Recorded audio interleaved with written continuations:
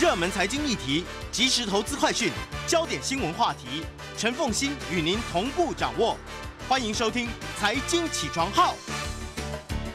Hello，各位听众，大家早，欢迎大家来到九八新闻台财经起床号节目现场，我是陈凤欣。民国一百一十二年六月十三号，星期二，现在早上七点十三分十四秒。我们现在关心一下今天的天气状况，仍旧是受到了滞留锋面的影响，所以昨天呢就已经提醒大家，滞留锋面带来了相当丰沛的水汽，然后再加上西南季风，所以呢，整个这个西半部地区，尤其是中南部地区，迎风面。可能会下好雨。那么昨天呢，真的在台南、高雄啊，还有屏东这一带呢，降下来的雨势是相当大的。有部分地区呢，从昨天一直到今天清晨，累计的雨量已经超过了三百毫米，其实非常接近西南气流的等级。那么它也可能会成为致灾性的豪雨，所以呢。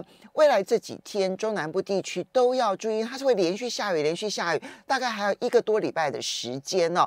所以那个，嗯，整个的山区当中呢，那么饱含着水分，呃，影响所及，它可能产生灾情的可能性就会提高，几率就会提高。所以呢，这都是在地方阴影上面要特别小心注意的。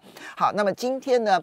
仍旧受到了西南季风以及呢它的丰沛的水汽的影响，所以呢今天全台湾各地其实降雨几率都还偏高。那不过它还是集中在中南部地区，北部地区相对来说稳定一些。不过呢因为是低压带，所以呢温度相对呢没有像之前这么的高。我们来看中央气象局的预测，北部地区多云时阴，降雨几率是百分之二十，白天的温度是二十四到二十九度。中部地区呢是阴时多云，短暂阵雨或雷雨，降雨几率百分之五十。白天的温度是二十六到三十二度。南部地区也是多云时阴，短暂阵雨或雷雨，降雨几率百分之五十。白天的温度是二十五到三十一度。东部地区多云，午后短暂雷阵雨，降雨几率百分之六十。白天的温度是二十四到三十度。澎湖地区多云，短暂阵雨或雷雨，降雨几率百分之三十。白天的温度是二十七到三十度。目前各主要城市的气温，台北跟台东目前是二十五度，台中、台南、高雄目前都是二十六度，宜兰目前只有二十三度，花莲目前只有二十四度，澎湖目前是二十七度。在这边要提醒大家的是呢。那么虽然说北部地区的降雨几率只有百分之二十，但因为整个大环境水汽相对偏多，那么以北部地区而言呢，主要反而要注意的是午后可能因为热对流的关系而产生的午后降雨啊。所以我觉得各地呢，其实出门的时候携带雨具，其实对自己应该是比较好一点的。好，接着呢，我们再来看一下美国股市。美国股市呢，四大指数在上个星期五呢都是上涨，呃，不在昨天呢都是上涨的，尤其是费城半导体。我们来看数字，道琼工业指数呢是上涨了。一百八十九点，收盘指数是三万四千零六十六点，涨幅百分之零点五六。纳斯达克上涨了两百零二点，收盘指数是一万三千四百六十一点，涨幅百分之一点五三。标普百指数上涨了四十点，收盘指数是四三三九点零八点，涨幅百分之零点九四。费城半导体大涨了一百一十六点，收盘指数是三千六百四十一点，涨幅百分之三点三一。其实，在分层半导体当中呢，真的领涨的其实就是台积电的 ADR。台积电的 ADR 呢，大涨了百分之四点一四，是激励呢费城半导体大涨，涨幅超过百分之三的重要原因。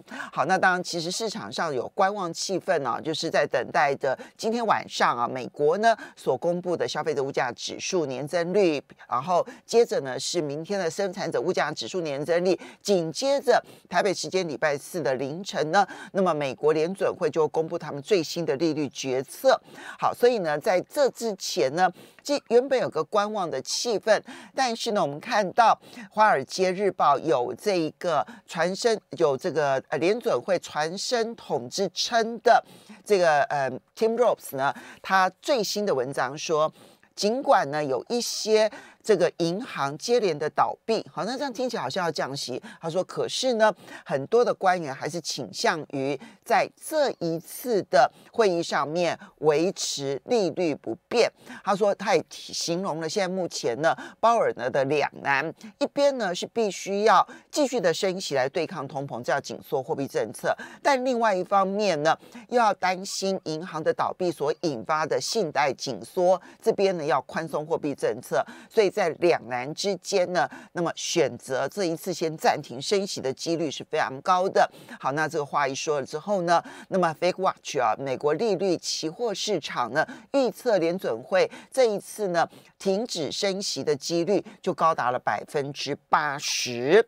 好，接着呢，我们再来看到的是油价，油价的部分呢，则是反映了对于未来经济前景仍旧是认为衰退的几率非常的高。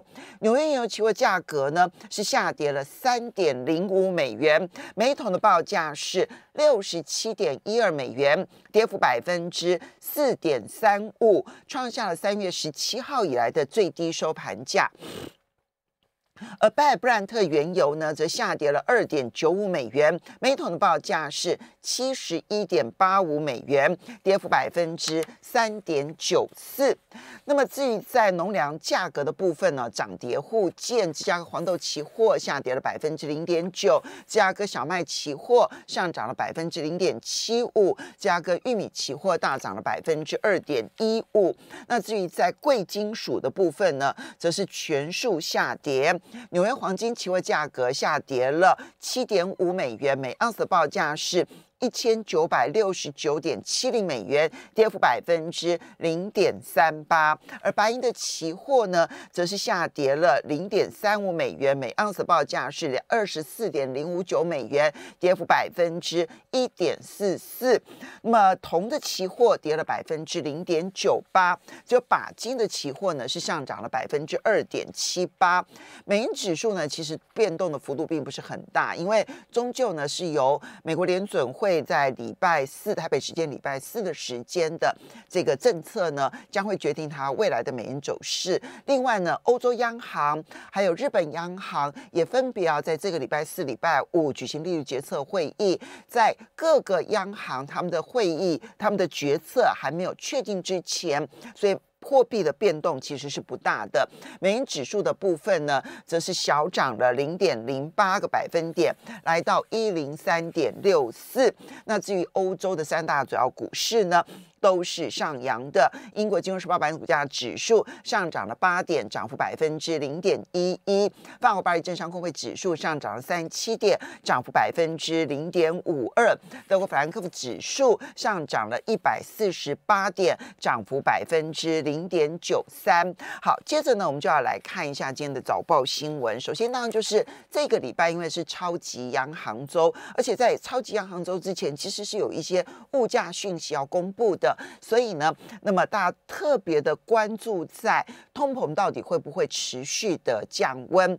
那因为今天晚上呢，美国就要公布了消费者物价指数，那目前出估呢，可能会比四月份的时候的消费者物价指数年增率呢再下滑，从百分之四点九下滑到五月可能是百分之四点二，但是呢。问题关键点就尴尬在这边，四点二其实仍旧比联准会所设定的百分之二的目标其实高出了一倍，所以呢，究竟现在的政策它，所以这个未来的政策就开始出现了很多的辩论。那么原则上呢，六月份停止升息是主流意见，但是呢，七月份。那么会不会继续的暂停升息呢？主流意见目前认为六月暂停升息，但七月反而要继续升息的几率其实是比较高的。那么，嗯，事实上呢，旧金山银联准银行呢，在上个月底呢，公布了一项最新的分析。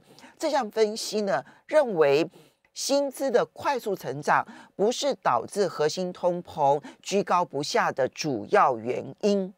那如果是这样子的话呢？那么美国联准会似乎不要为了要制造失业而不断的升息，相反的，他可能要把。重心注意力放在企业可能太贪婪了，想要有过多的获利。好，那这个报告呢，是不是会对于美国联准会的政策产生转向的影响？这一点呢，值得观察。因为上个礼拜呢，我们其实已经看到联准会主席鲍尔呢，他的谈话出现了一些语气上的改变，他不再聚焦薪资不断的上涨，而改为呢。这个他认为呢，薪资成长不再是通膨螺旋成长的主要原因，所以看起来他并不希望制造太多的失业啊。好，这个是各国各个央行的基本态度。好，那另外我们再来看到的是，现在的股票市场啊是不断的创高，但是呢，经济基本面好不好？经济基本面其实并不好。我们举例来说，这个在。呃，标普来说呢，它其实已经从去年的低点，然后跟最新的这个数字来看的话呢，早就已经涨超过百分之二十。来到技术上来看的话呢，可以定义为牛市。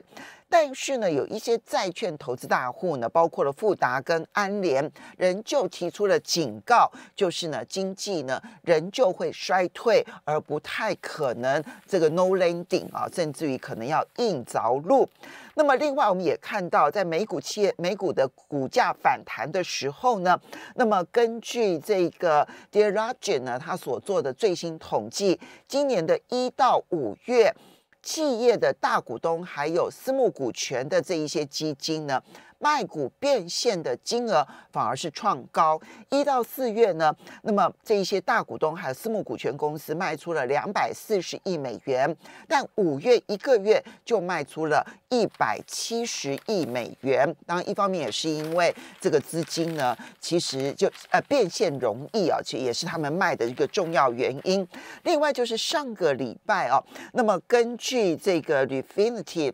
他们所做的最新的统计显示，在上个礼拜呢，全球的股票基金其实是流出而不是流入。虽然你看到股价不断的创新高，但是呢，这股票基金呢，全球的投呃股票基金流出一百八十八亿美元。其中呢，美国流出了一百六十四亿美元，欧洲流出了二十二亿美元。那么新兴市场呢，反倒是呃，新兴市场也流出三十九亿美元，只有亚洲市场呢是净流入三点七五亿美元。这就地区别而言。